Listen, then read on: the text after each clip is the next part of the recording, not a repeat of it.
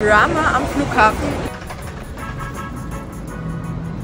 Der Horrorausflug. Booty Shake. Tammy, bist du Mango-Profi? Schwierigkeiten, den Koffer zu rollen. Meine Stimme ist einfach so schlimm. Ich hoffe, ich kann morgen noch reden.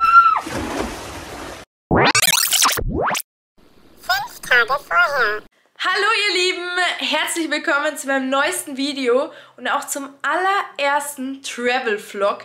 Ich trete morgen meine längste Reise an, die ich je in meinem Leben gemacht habe. Oh mein Gott, ich werde die Tiere einfach so vermissen. Ich vermisse sie jetzt schon. Ich bin jetzt eigentlich schon traurig, aber ich freue mich zugleich auch. Und ja, ich bin einfach so gespannt, wie es wird. Eine richtig coole Sache ist, eine meiner Lieblingspersonen ist einfach dabei und zwar die beste Filmerin, die Tammy! Hallo! Uhu, sie kommt schon mit meinem Koffer. Wir nehmen euch jetzt erstmal zum Packen mit, zu den Vorbereitungen. Richtig.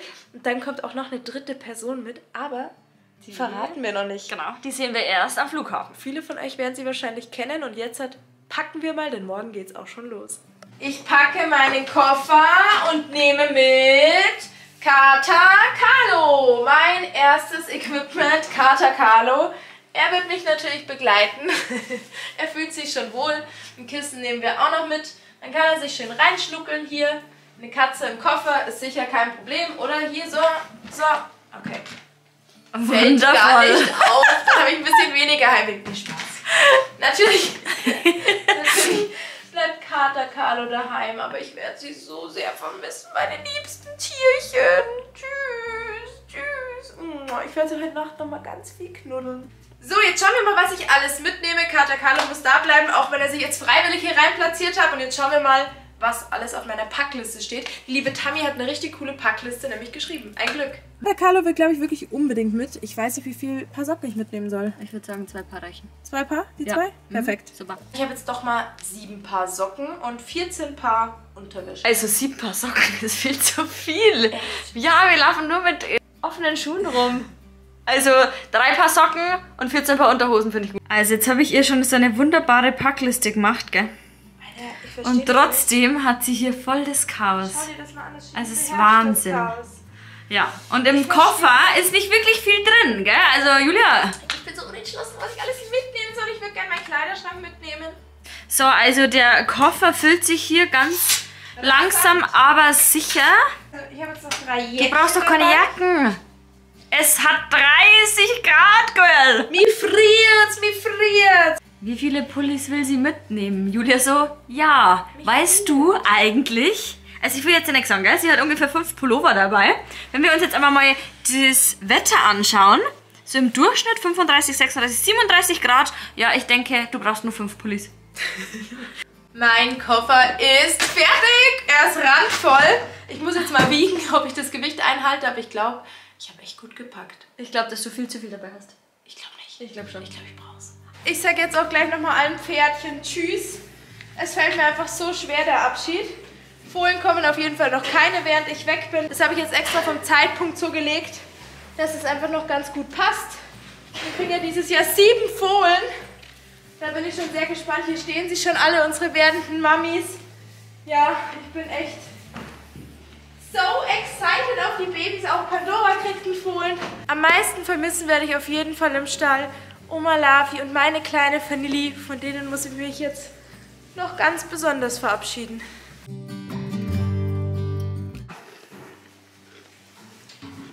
Vanilli, du wirst mir sehr, sehr, sehr fehlen. Sagt sie nein?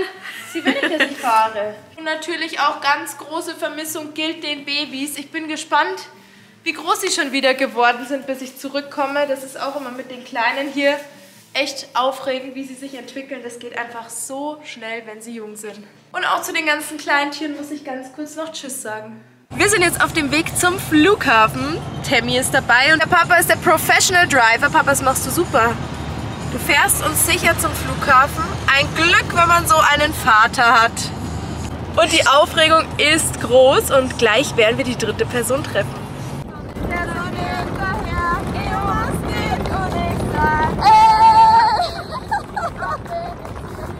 So, ihr habt es schon gesehen, unser Überraschungsgast ist die liebe Lea. Für was für Überraschung? Für meine Zuschauer im Video. Und ja, wir machen uns zu dritt auf die Erkundungsreise vom thailändischen Land.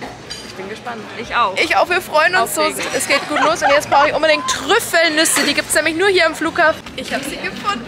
Meine Trüffelnüsse. Wie gesagt, die gibt es nur hier. Und jetzt bin ich einfach nur glücklich und zufrieden. Wir sitzen im Flieger. Ich habe mein Nackenhörnchen. Ich habe mir noch ganz last minute eins besorgt. Und gleich geht's los. Wir sind schon so aufgeregt. Ja!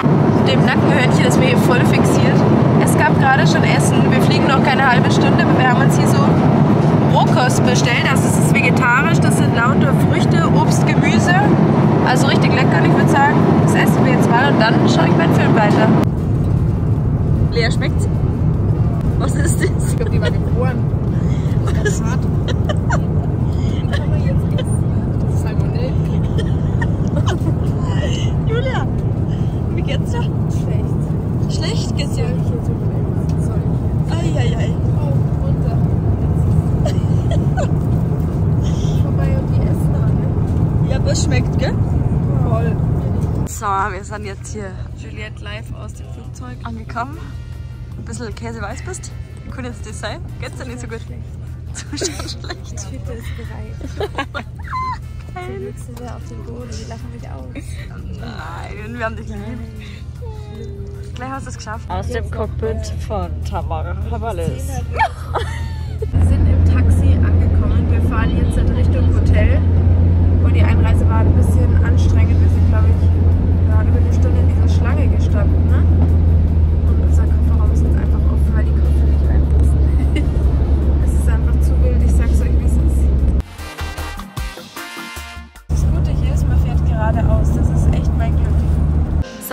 Zuschauer, wir sind im Hotel angekommen. Mit einigen Komplikationen. Richtig, Julia hat fast erzähl. schon hier in den Flur gespielt. Julia hat, fast fast schon hier so hingespielt. Aber wir, wir sind vorausgerannt zur Rezeption. Als sie mir zur Rezeption hinterher mit der Tüte. Dann ist sie ins Klo mit mir. Eine Anreise unter erschwerten Bedingungen. Nicht schön. Aber jetzt sind wir endlich da. So. Lea zieht sie aus. Julia? Lea entkleidet sich. Ich sitze hier mit meinem Tee und muss mich erstmal akklimatisieren. Aber der Zustand bessert sich langsam. Wunderbar. Wir warten jetzt, bis unser Zimmer fertig ist. So, wir warten jetzt schon seit vier Stunden hier in dem Hotel auf unser Zimmer. Lea. Lea, Lea, Lea. Ich habe schon wieder Husten, weil es so kalt ist. Oh, ich sehe so unterirdisch aus. Jetzt hoffen wir, dass es bald soweit ist und wir ins Zimmer können. Aber die meinten gerade, es dauert noch eineinhalb Stunden. Deshalb sitzen wir hier in der richtig, richtig kalten Lobby. Deshalb habe ich auch einen Pulli an. Wir sind im Bangkok Town. Die ganzen Obstsachen. Es ist verrückt. Es riecht hier einfach so schlimm. Ne? Wir sehen auch ein bisschen schlecht. Und man kann hier wirklich alles auch auf der Straße direkt kaufen. Das ist einfach total Verrückt ist Oh, das. Und laut. sehr ange angeschlagen bin. Lass Traust dich lieber nicht. Aber verrückte Welt hier auf jeden Fall. Und die ganze Stromkabel, schaut euch das mal an. Wir haben sogar einen Markt gefunden und hier gibt es einfach Coconut. Schaut euch das an, wie schön. Richtig schön. Wow. Alles super. Oh Gott, die Süßigkeiten. Schaut mal hier. Oh Gott, ich bin absolut... Und hier gibt es das Essen. Das ist einfach so krass. Ob das halt auch alles gut ist, ich weiß es nicht. werden wir ausprobieren und dann sehen wir schon. Oh ja, nee. Das sollen sie überraschen. So, wir haben jetzt Hunger. Wir haben uns ehrlich gesagt gegen diese ganzen Straßenstände entschieden und sind jetzt hier in einem Restaurant. Das ist auch einfach so günstig alles. Schaut hier echt richtig süß. Das schaut richtig gut aus, ehrlich gesagt. Und dem Ganzen vertraue ich jetzt hier. Das Essen sieht so gut aus. Lea hat schon probiert. Eigentlich wollten wir erst filmen. Kein Problem. Ganz gut. Gut. Wir haben Also- jetzt einmal Tofu, einmal Mango Sticky Rice und einmal hier Gemüse. Das teilen wir alle ein bisschen. Ich wollte eigentlich einen Eistee und habe aber einen heißen Tee bekommen. Aber kein Problem. Testen wir mal. Test jetzt mal. Was sagt ihr? Taste Test. Oh, ist gut. Lea? So schaut's aus. Und wie war's Essen? Note 1, 10 mit Stern. Sehr lecker. Und die Leute sind alle so nett bis jetzt. Also wir hatten noch keine blöde Erfahrung. Alles so lieb. Das war echt Ganz was anderes irgendwie. Ja, richtig herzlich einfach. Das ist gut. Wir haben unsere Zimmerkarten bekommen. Es schaut echt mega aus. Schaut euch mal das Hotel an. Haben wir gut ausgesucht und jetzt geht's so gespannt aufs Zimmer. Ja, was hast du? Ich brauche ein Fenster. Spannung steigt.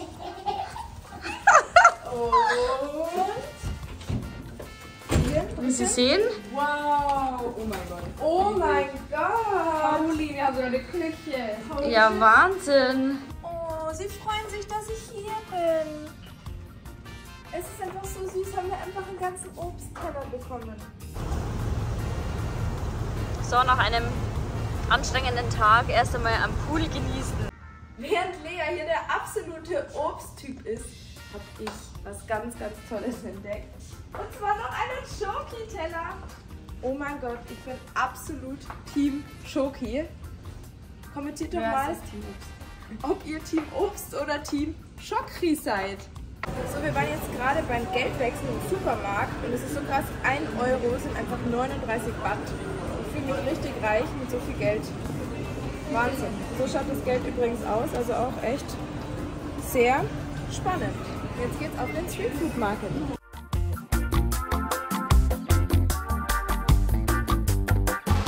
Und hier gibt's alles auf der Straße, das ganze Essen. Die Hühnchen, alles Mögliche. Und ja, es schaut echt wild aus. Wahnsinn, was es hier alles gibt.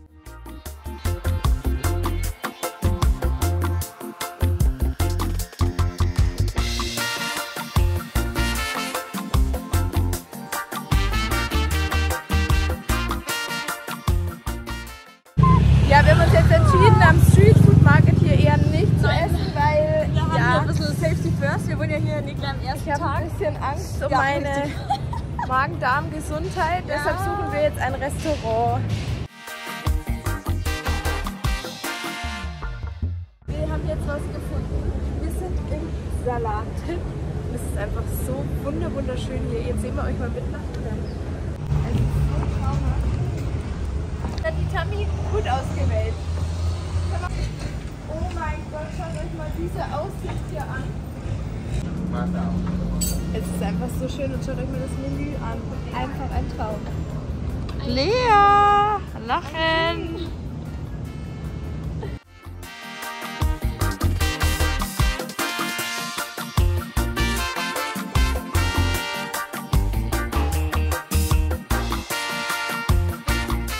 einfach heute noch auf die Rooftop Bar gefahren und schaut euch das mal an, wie hoch es ist. einfach der 64. Stock.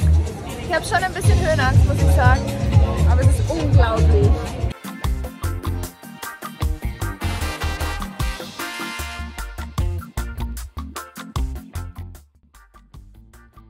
Guten Morgen, guten Morgen, guten Morgen, Sonnenscheine. Guten Morgen aus Bangkok.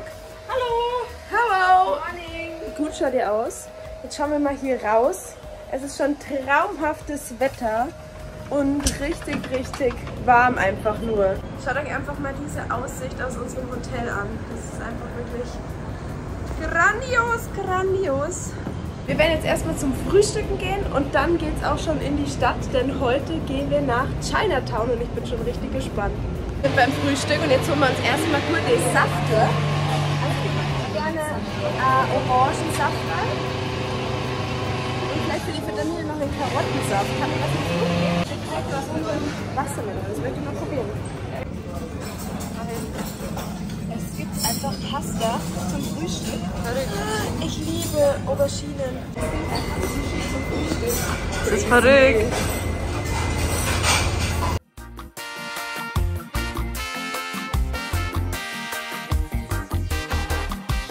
Ich bin 100% Fraktion süß, deshalb ist meine Auswahl auch sehr, sehr süß ausgefallen.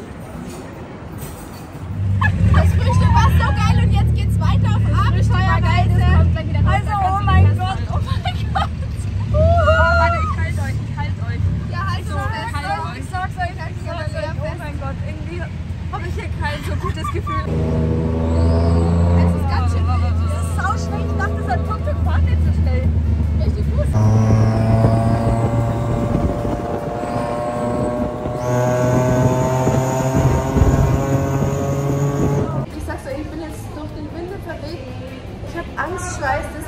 Aber ihr ist nicht schlecht. Aber ist nicht schlecht. Das ist ja schon mal gut. Wir waren jetzt im Shopping Center und es war einfach so cool. Meine beste Errungenschaft ist dieses Schokotküchlein. Und jetzt waren wir noch kurz in der Stadt und haben uns den ganzen Obstteller hier noch gekauft. Das werden wir jetzt einmal noch oh, ja. snacken. Das ist nämlich so süß, das Obst. Das ist unglaublich Oh mein Gott, mein Lieblingsobst hier sind einfach die hier. So, das ist eine Mangostin. Die drückt man hier einfach. Ich kannte die davor noch nie. Die Lea hat mir die gezeigt. So, und dann ist hier diese Füllung. Dann isst man hier diese weiße Füllung. Mm, Mir fehlen die Worte. Es ist Es ist unglaublich gut. Tammy, bist du Mango-Profi? Nein, bin ich nicht. Also ich würde sagen, ja, nein, das kann man so nicht sagen. Das kann man einfach so du machst es auf jeden Fall mit viel Liebe, aber man sieht die Liebe halt nicht so ganz.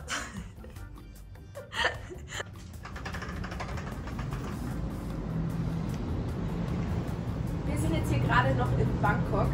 Das ist wirklich eine krasse Erfahrung. Also ich kann es jedem nur mal empfehlen, hierher zu kommen. Das ist wirklich echt Eindrücke ohne Ende. Es schaut aus wie im Film. Also es ist echt krass. Was ich aber sagen ich freue mich sehr, dass es morgen jetzt schon nach Kopangan geht und bin gespannt, was uns da so erwartet und was dort die Zeit bringt. Wir sind jetzt zum zweiten Mal im Tuk-Tuk für heute. Influencers at Work übrigens. Macht schöne Stories. Und wir gehen jetzt was Abendessen. Und heute geht es nach Chinatown. Und jetzt haben wir wirklich einen humaneren Tuk-Tuk-Fahrer. Der fährt vorsichtiger, da ist mir doch gleich viel wohler.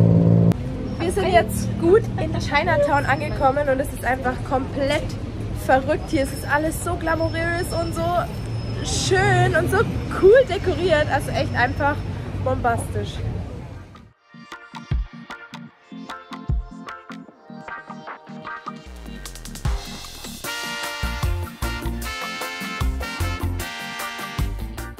Ich sag's euch, wie es ist. Für mich ist Chinatown bisher der absolute Horrorausflug. Es steht einfach alles. Wir stehen hier in Schlangen. Es ist wirklich der Wahnsinn. Wir wollten eigentlich nur irgendwo was essen. Ne?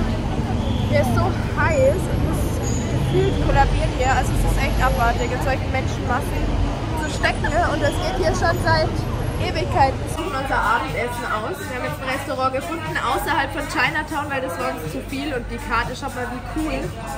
Es ist nur alles sehr, sehr fleischlastig und Lea und ich sind ja vegetarisch. Müssen wir erstmal suchen. Schwierig, aber ich habe schon was gefunden. Also jetzt muss man so noch entscheiden. Es gibt Dessert.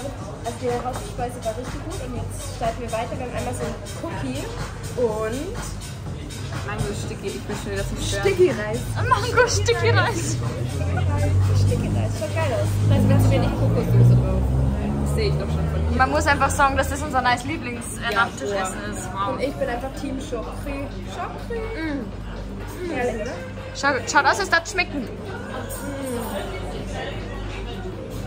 Ein. Wir sind jetzt wieder im Hotel. Im Aufzug. Wir hoffen, das Essen war gut bekömmlich. Es hat auf jeden Fall sehr gut gemundet. Booty Shake. und ja, jetzt wünschen wir euch eine gute Nacht. Morgen geht es schon wieder weiter nach Kopangan und ich bin richtig gespannt auf die Insel. Bis morgen. Ciao. Jetzt steht erstmal wieder Packen auf dem Plan, denn heute ziehen wir schon wieder um.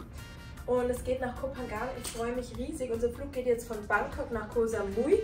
Und von Koh Samui nehmen wir dann die Fähre nach Kopangan. Und ich bin richtig gespannt, wie es auf der Insel wird. Wir haben jetzt schon gut gefrühstückt und gleich geht's weiter. Schwierigkeiten, den Koffer zu rollen. Ja. Uiuiui, die Lea macht's richtig. Lenken ist schwierig. Das ist ein Struggle beim Reisen. Friends, wir verrecken in dem Auto. Es ist so warm. Mir ist schlecht. Haben wir auch. Wir haben gerade die Fähre gebucht.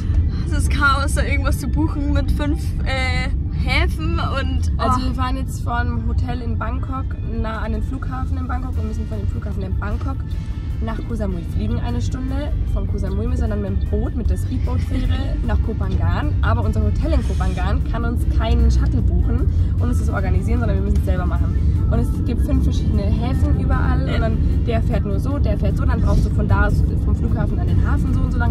Nee. Und ich schwitze, die Tami auch. Äh, Julia sitzt aber Gott sei Dank vorne. Ja. Also mir ist auch schlecht, obwohl ich nicht aufs Handy geschaut habe, aber es ist belastend. Es ist belastend. Es ist wirklich der Wahnsinn.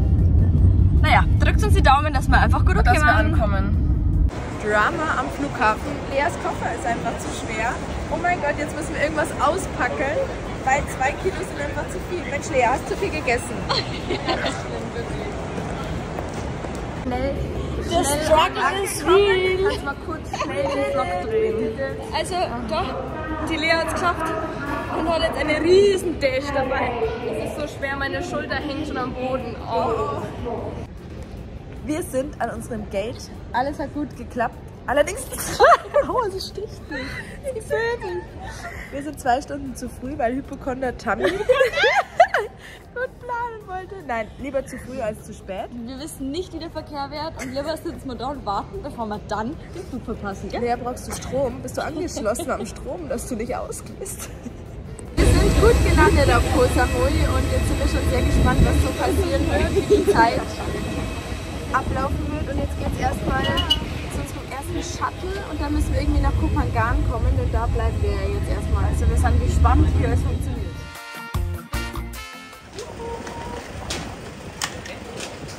Alright. Alright. Wir sind jetzt in Koh Samui.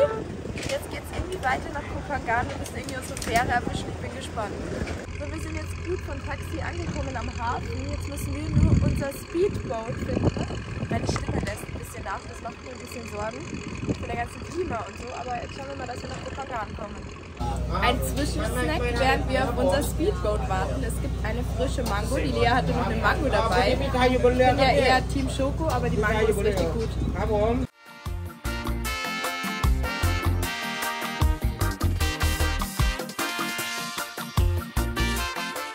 So, wir machen jetzt einen kurzen Real-Life-Check. Wir sind back von der Beach Party. Von der. Und meine Stimme ist einfach so schlimm. Ich hoffe, ich kann morgen noch reden. Ne? Ich habe einfach zu viel mitgesungen, glaube ich, und diese ganzen Klimaanlagen, ganz schlimm. Schaut mal übrigens Back von der. T-Shirt. Ja, nee, jetzt sind wir echt am Ende. Es ist jetzt 3 Uhr nachts, also es wird ganz dringend Zeit zum Schlafen. Gute Nacht, ihr Lieben. Und morgen gibt es eine Roomtour. morgen gibt es eine kleine Roomtour. Es ist so traumhaft hier. Tschüss. Der neue Tag startet erstmal mit einem Ausflug. Ich bin ein bisschen angeschlagen, aber kein Problem. Wir sind jetzt hier beim Viewpoint. Wir wurden jetzt hier dem Taxi hingebracht. Das waren echt krasse Straßen und von hier aus gehen wir jetzt zu diesem Aussichtspunkt. Ich glaube, das wird echt abenteuerlich und ich bin richtig gespannt, was dieser Tag bringt. Die Lea schaut auch schon sehr gut aus. keine Cap dabei, deswegen brauche ich mein Nachthemd. jetzt was gemacht. Ich glaube, das wird jetzt ein Adventure.